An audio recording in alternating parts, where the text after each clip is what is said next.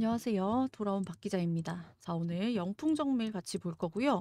자, 또다시 경영권 분쟁 이제 붙었죠. 최씨 대 장씨 대 구조입니다. 자, 영풍정밀은요, 이 경영권 분쟁의 핵심 키가 되는 회사예요. 오늘장 고려 아연도 급등을 하고 있고 영풍정밀도 이렇게 점상한가 가고 있는데 제가 다시 말씀드리지만 이 경영권 분쟁의 핵심 키는 영풍정밀이 쥐고 있다. 자, 점 상한가 가고 있는데 그 지금 매수 타점을 전혀 안 주고 있죠. 매도 물량이 나오고 있지 않습니다. 그래서 새로 잡고 싶으신 분들은 언제쯤 얘가 좀 풀릴지 물량이 그리고 이미 잡고 계신 분들은 얘를 언제 매도를 하면 좋을지 이 부분에 대해서 오늘 좀 심층적으로 얘기 나눠볼 거고요. 그리고 고려 아연도 제가 조금 설명을 드릴 겁니다. 아무래도 이게 다 엮여 있기 때문에 고려 아연 돌아가는 것도 좀 아셔야 돼요. 그래서 본격적인 영상 시작 전에 구독과 좋아요 한 번씩 눌러주시고요. 그리고 영상 마지막에 제가 여러분들을 위해서 선물까지 하나 준비해 놨으니까요. 영상 끝까지 시청해 주시고 이 선물도 챙겨가셨으면 좋겠습니다. 자, 일단 주가 흐름부터 보시면 자, 이 경영권 분쟁 얘기가 나온 지 2년 만에 아, 주주님들 정말 오래 기다려 오래 기다리신 거죠. 2년 만에 이렇게 의미 있는 이 성과가 이제 나와주고 있습니다. 어제 시간의 상한가부터 해가지고 오늘 점상한가 가고 있는데 매수 물량 할 매도 물량들이 거의 안 나오고 있어요. 한국 주식시장 정말 빠릅니다. 자, 어제 이렇게 기사가 나왔는데 이미 시간의 상한가부터 먼저 움직이기 시작한 거죠.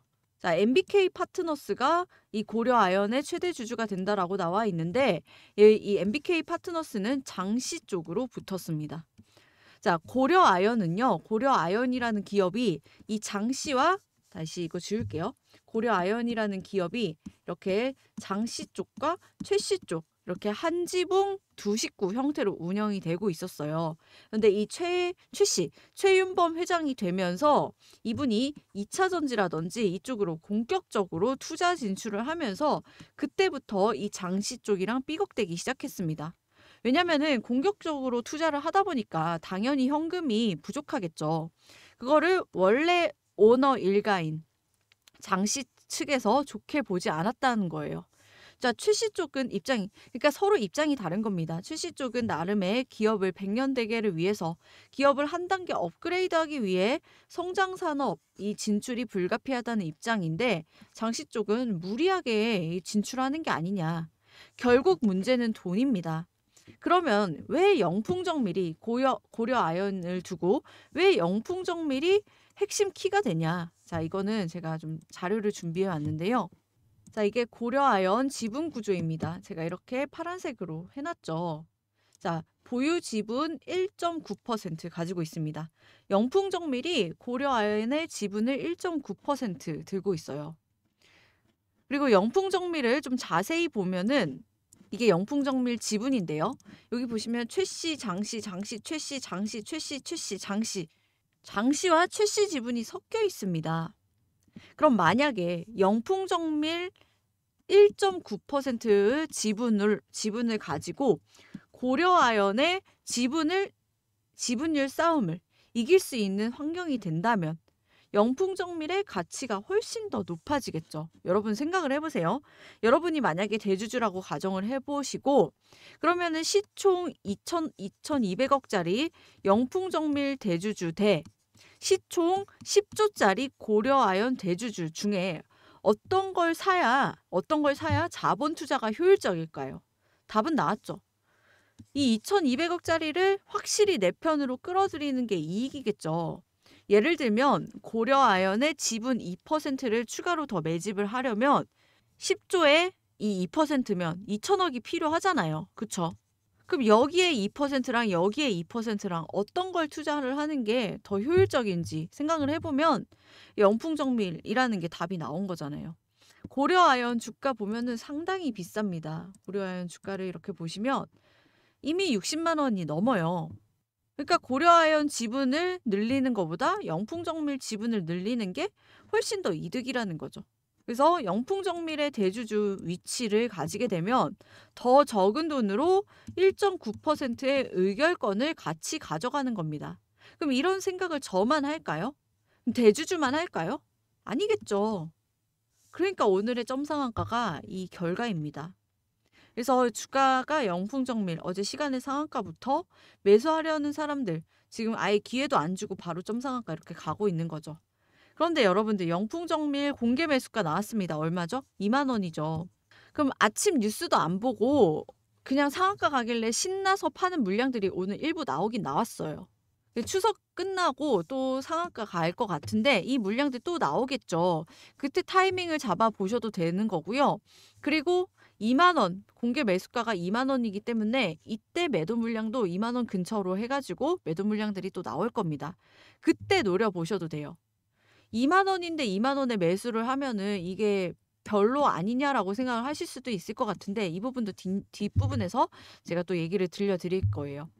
그리고 영풍정밀 쪽 이 타이밍을 안 준다 그러면은 여러분들 고려 아연을 오히려 역으로 노려보셔도 돼요. 왜 그러냐면 어, 이 월요일 날 이 자사주 매입 공시를 봐야겠지만 1일 1만 주씩 매수할 확률이 높습니다. 그것도 호가를 올려서 매수를 할 거예요. 그러니까 고려 아연도 오늘 이렇게 움직이죠. 자, 고려 아연 같은 경우에 평균 1일 거래량이 원래 6만 주 내외였습니다. 그래서 고려아연도 어떻게든 주가를 끌어올려서 66만 원을 넘어서야 되거든요. 오늘 기준가 66만 원 벌써 좀 넘고 있죠. 그리고 여기에 MBK 파트너스가 장시 쪽으로 붙었다고 말씀드렸는데 이 MBK 파트너스는 기업 사냥꾼입니다. 자, 그동안 뭐가 있었죠? 오스템 임플란트 공개 매수해서 매각했죠. 그리고 한국엔 컴퍼니 그리고 고려 아연까지 참고로 한국엔 컴퍼니는요 2만 원 공개 매수가 때렸는데 이걸 2.4로 올렸습니다. 2만 4천 원으로 공개 매수 단가를 올렸어요. 이번에도 이 경영권 분쟁이 격하기 때문에 공개 매수 단가를 올릴 가능성이 있습니다. 그래서 영풍정밀 그래서 제가 2만 원에 매도 물량이 나오면 그때 매수하셔도 된다라고 말씀드리는 게 이런 것 때문에 그래요. 그래서 노려보시고 고려아연 같은 경우는 1차 66만 원 기준가 제가 드렸죠. 그리고 2차는 79만 원입니다. 그 보시면서 이제 trading 관점으로 접근을 하시면 좋아요. 그럼 제가 기준가를 좀 드렸죠. 그런데 기왕이면 내가 싸게 사서 비싸게 파는 게 중요하겠죠. 그래서 수급 따라서 이렇게 수급 따라서 단기적으로 수익 나는 구간 충분히 나오기 때문에 제가 말씀드리는 거고요. 여러분들 아무리 좋은 종목이라도 수급이 붙어야지만 움직입니다. 영풍정밀 보세요. 이게 경영권 분쟁 얘기가 2년 전에 나온 얘기입니다. 2년간 준비를 한 거예요. 그럼 2년 전에 매수하신 분들은 이제서야 좀 빛을 보고 계시는 건데 사실 이 수급만 따라다니면 이렇게 2년 동안 묵, 자금이 묶일 이유도 없거든요. 자, 이런 데서 수급 변화가 있잖아요. 그럼 여기서 내가 매수 매도 이 수급만 제대로 따라다녀도 이 시간을 훨씬 더 단축을 할 수 있다는 겁니다. 이게 무슨 말이냐면 제가 최근에 윙이푸드라는 종목을 좀 찍었었는데요. 8월 27일 오전에 이렇게 영상을 찍었죠. 별 변동도 없는 보합 수준이잖아요. 제가 이때 뭐라고 말씀드렸냐면 수급이 윙이푸드의 수급이 다 빠졌습니다. 그래서 이렇게 세력이 다 튀었으니까 지금 좀 매도를 하시는 게 좋겠다라고 말씀드렸어요. 8월 27일 오전부터 이렇게 말씀을 드렸는데 자 윙이푸드 이 수급이 빠지면 얼마나 무서운 일이 일어났냐면 윙이푸드 차트를 한번 보겠습니다. 보시면 이게 윙이푸드 차트인데요. 제가 이날 8월 27일 이날 말씀을 드렸습니다.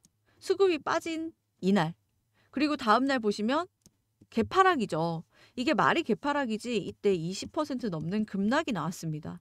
그래서 여기까지 좀 빠졌잖아요. 단기적으로. 그래서 이 구간이 사, 크게는 30%까지 빠진 구간입니다.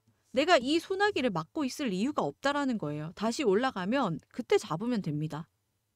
이런 식으로 수급에 따라서 변동이 심한 게 요즘 장의 특징이에요. 그래서 영풍 정밀 마찬가지죠.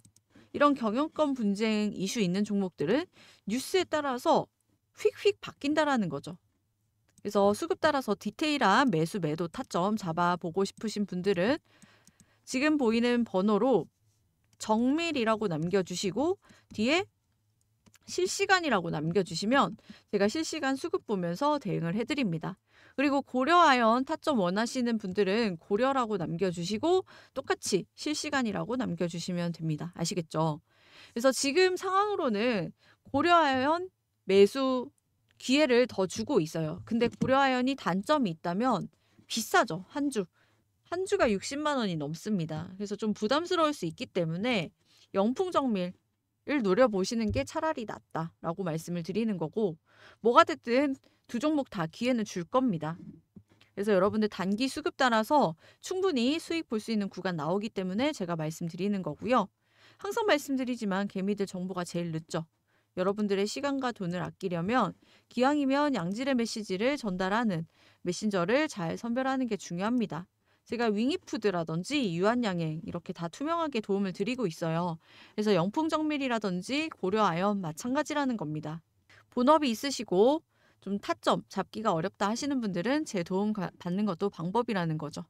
그래서 무튼 이 종목으로 좀 수익 극대화 하셨으면 좋겠고요. 여러분들의 매매가 좀 즐거웠으면 좋겠습니다. 자, 다음으로는 2024년 하반기 여러분들이 잡아볼 만한 대시세 종목을 제가 준비를 했습니다.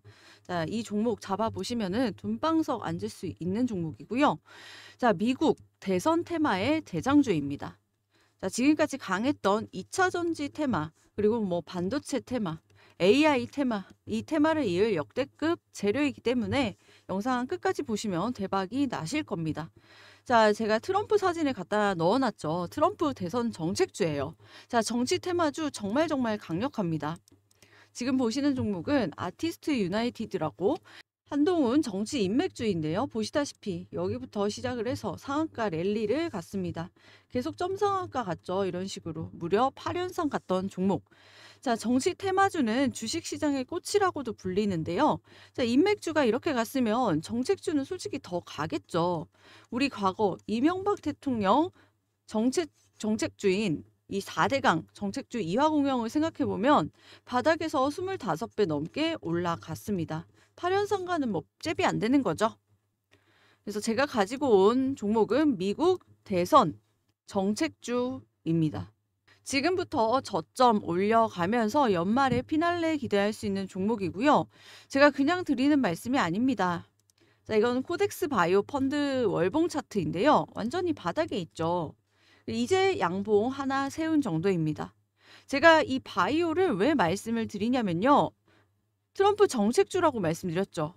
트럼프 정책주, 트럼프 테마주, 뭐 테슬라라든지 남북 경협주 너무 유명한데요. 근데 바이오는 아무도 안 보고 있습니다. 자, 트럼프 정책주라고 말씀드리는 거는 트럼프가 당선이 되면 이 신약 승인 규제를 완화하는 정책을 펼 거기 때문에 이 신약 개발하는 바이오텍에게는 굉장히 큰 호재예요. 그리고 국내에는 이런 글로벌 블록버스터가 될 수 있는 약을 가진 신약 개발 업체 손에 꼽습니다. 그래서 제가 이 중에서 선별해서 가지고 온 거예요. 그리고 이 바이오주는요, 9월 금리 인하 수혜주이기도 하죠.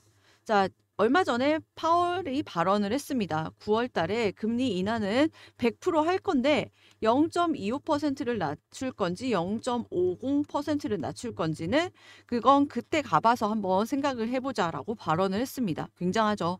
이 금리 인하 수혜주에 하반기 거의 매월 학회가 잡혀 있습니다. 이 학회에 따라서 바이오 학회에 따라서 이 일정에 따라서 주가가 움직인다는 뜻이거든요. 제가 바이오 쪽에 종목 좋은 종목들 많이 드리고 있습니다. 자, 지금 보시는 건 알테오젠이라는 종목이고요.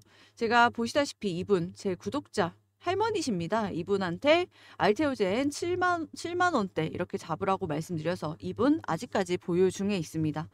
자, 지금 7만 원인데 7만 원에 잡으셨는데 알테오젠 최근에 30만 원 이렇게 돌파를 했죠. 그럼 대충 계산해 봐도 4배 이상 급등을 한 겁니다. 이걸 수익률 퍼센트로 따지면 250%가 넘거든요. 이분 아직도 보유 중에 있습니다. 제가 이런 식으로 바이오 쪽에서 많이 오를 수 있는 종목을 드린다는 거죠. 이분 실계자입니다, 이거는. 알테오젠도 저점 계속 올려가면서 고가 갱신하고 있죠. 이런 식으로 움직일 종목을 드릴 겁니다. 자, 우리 살면서 수많은 기회를 놓치고 사는데요. 이번에는 놓치지 않았으면 좋겠다. 왜냐하면 간만에 돌아온 바이오, 5년 만에 돌아온 바이오 훈풍이고 미국 대선 정책주의 금리 인하까지 온 우주의 기운이 바이오로 몰리고 있습니다. 그래서 지금 보이는 이 번호로 돈벼락이라고 남겨주시면 제가 이 돈벼락 맞을 수 있는 종목 드리니까요. 제가 서두에 돈방석 앉을 수 있다고 말씀드렸죠. 충분히 가능합니다. 그래서 이 종목 잡아보셔가지고 수익 제대로 한번 챙겨가셨으면 좋겠습니다.